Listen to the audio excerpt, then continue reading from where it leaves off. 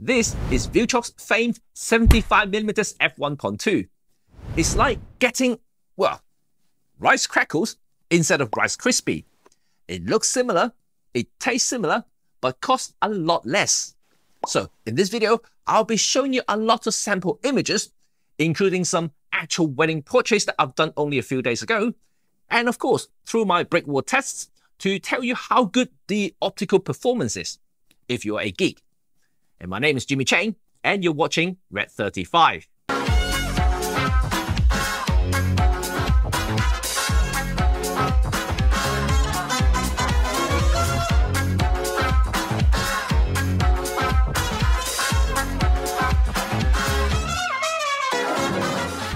You should know me by now that I'm always intrigued by affordable Chinese lenses in this channel.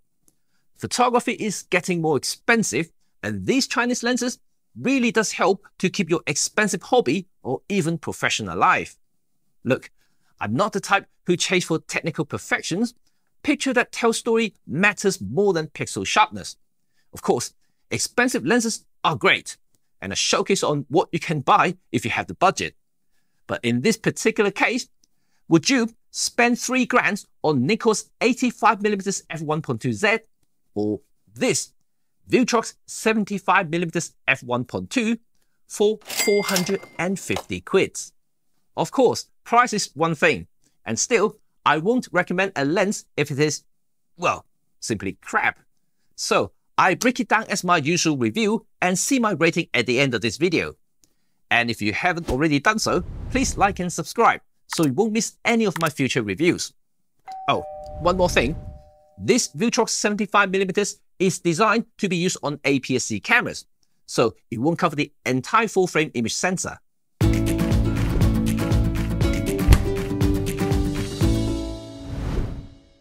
It's almost a tradition now for most Chinese lenses I review in this channel. This Viltrox, well, is built like a tank. The barrel, the focus, and the aperture rings are all metal. And I like just how they implement the aperture ring. Well, yeah, it feels like the real deal. But make no mistake though, the ring is driven by wire, and there's no physical connection to the actual aperture blades inside the lens. Focus ring is silky smooth, but it's one of those spin forever rings that I really hate using. And there's absolutely no feel to, yeah, when you hit infinity with this ring. A manual cut system on the Olympus OM System lenses is way better in this regard, especially if using manual feature for filming. But in terms of build, I really can't fault this Viltrox 75mm 1.2. And it really feels, yeah, definitely more expensive than it is. And I would even say it feels as good, if not better, than Fujifilm lenses. Better still, believe me or not, this 75mm is also fully weather sealed, although not rated. But at least you can trust this lens on a daily basis. The only thing that aren't and cheap feeling are the, well, the lens cap and the hood.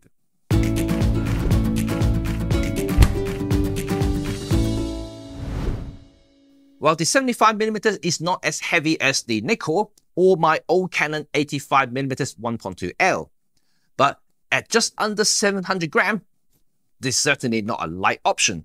With a diameter of 87mm and 101mm in length, it, well, it's pretty compact for its size, but still big for a mirrorless camera but it does feature that massive 1.2 aperture, and it is designed to suck light into this lens and also burn a few calories while you're using this lens to create stunning images.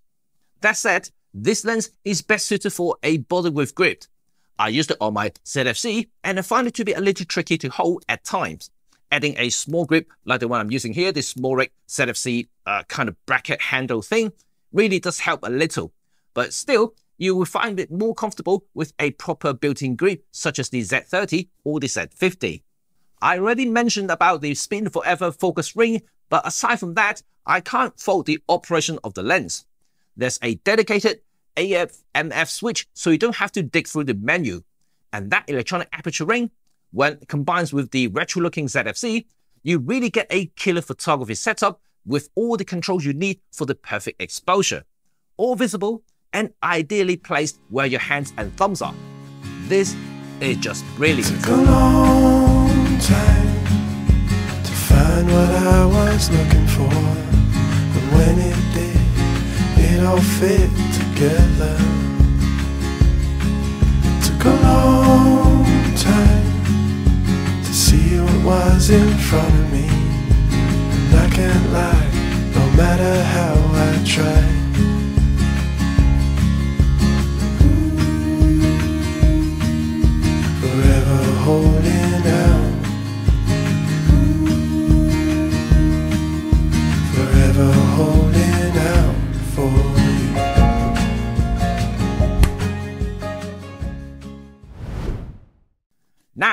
Crunch time. Perhaps what you photographers all want to see.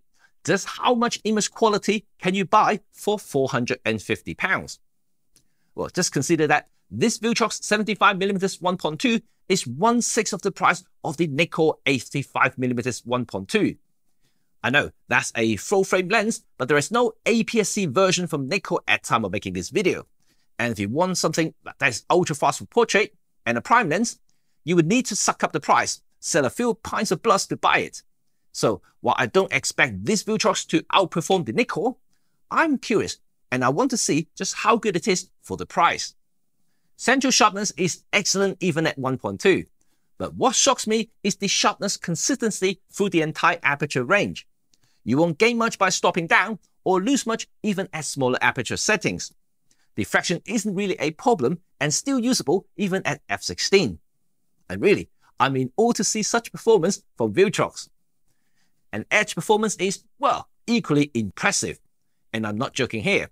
And I can't distinguish between f2 to f8.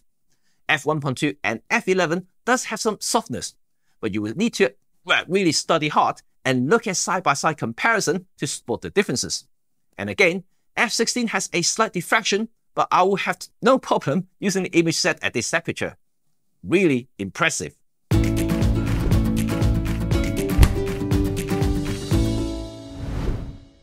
A medium tele lens with an ultra large aperture can only speak of one thing bokeh. Yeah, I must say, Viltrox has impressed me hugely so far, but as a visual artist, I also weigh highly on lens character and rendering. And that being said, this 75mm 1.2 has pretty and creamy bokeh balls. With 11 blades, yeah, you get pretty decent looking balls at smaller settings too.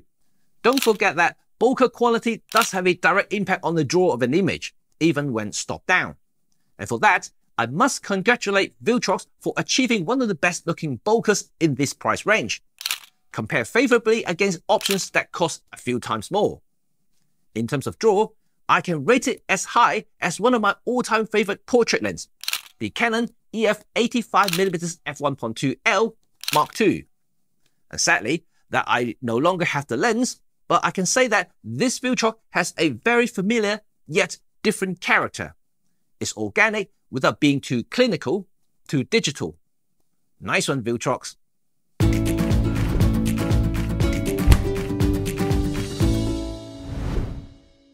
This is an easy part for the review. Aberration is non-existent to start with, showing just how effective those ED and high refractive index elements are within the lens. Another thing I love is the lack of distortion. There's absolutely zero in this case, 100% optical, and you don't need any lens profile to achieve such a feast. Flare, on the other hand, well, a little excessive. If you somehow position the lens at a certain angle under direct sunlight or a strong light source. The lens hood does help a little, but I managed to block off some of those flare with my hand. And well, that suggests that the lens hood just isn't deep enough. So if you want to block off some of those flare, it's better off getting a deeper lens from third party and you'll be good to go.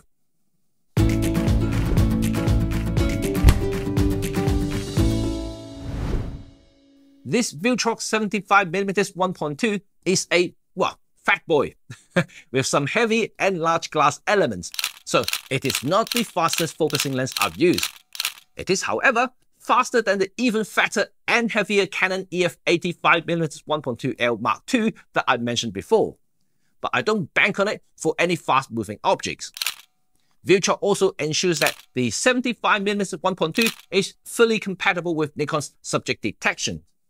It works very well with face and eye detection, as well as, well, animal detection that's on my ZFC's menu. And overall, I'm impressed, really impressed.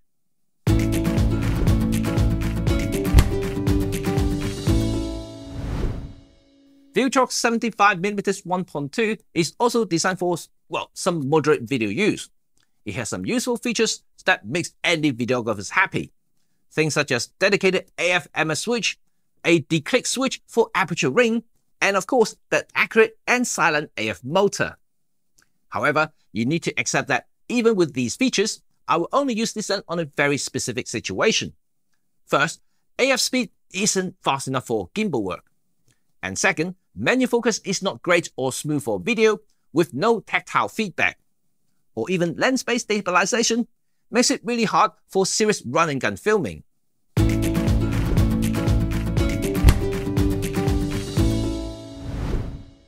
There you have it. My first impression on Viltrox is very positive, and I hope to review more lenses from them in the future. But what's my verdict on Viltrox Pro 75mm 1.2 for Nikon ZFC for APS-C cameras.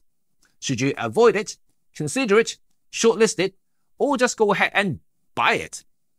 Well, I would say go right ahead and buy it, despite some quirks for video use. It's a capable, very well-built ultra-fast medium tele lens with a price that screams bargain in today's gear prices, and with performance that can rival some of the more premium and traditional offerings. One interesting thing is, this Viltrox doesn't cost more than other premium Chinese manual focus lenses. And this Viltrox has a high chance to be on top of my three selections for this year. Yes, it is that good. If you don't believe me, just read other reviewers that says about the 75mm 1.2 on the Fuji X mount, and you'll see why. This Nikon Z version is new, but it is the same optical formula, so there is no difference in image performance. So that's it folks. Do you like what you saw? And let me know in the comment section below on how you feel about this particular Viltrox lens, or if you've had any experience with other Viltrox AF lenses. Please let me know. Thanks again for watching, and you know what to do now. Thumb if you like this video, and sub if you want to stay in touch with awesome photography, filmmaking, and of course, yeah, lens review. Peace.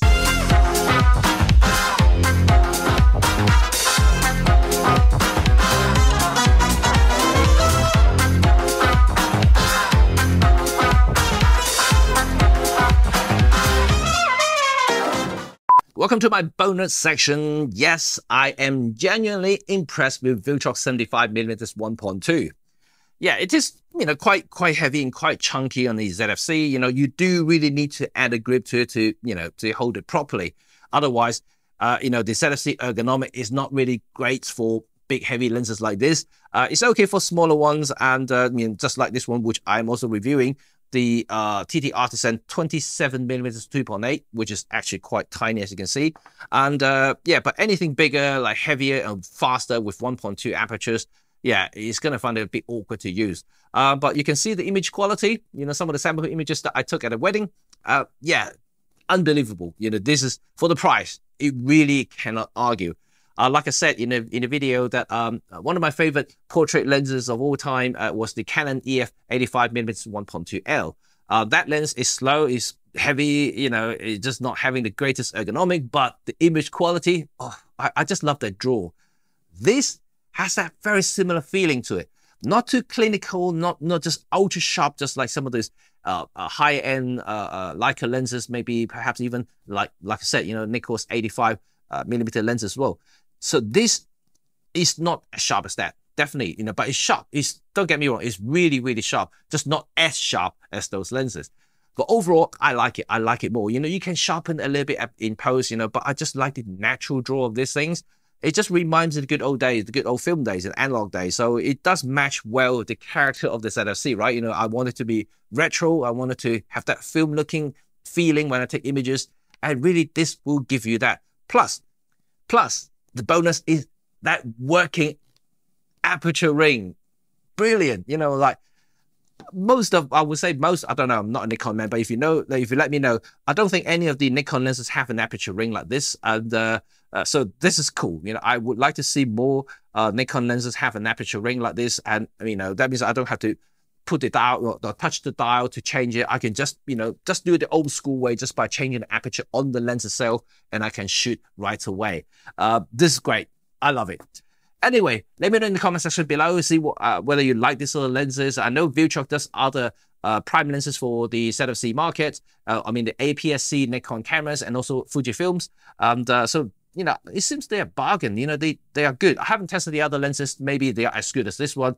But for this particular one, yeah, it's great, especially for the price. Anyway, thanks again for watching. And remember to subscribe and like. And I'll see you all next time. Bye for now.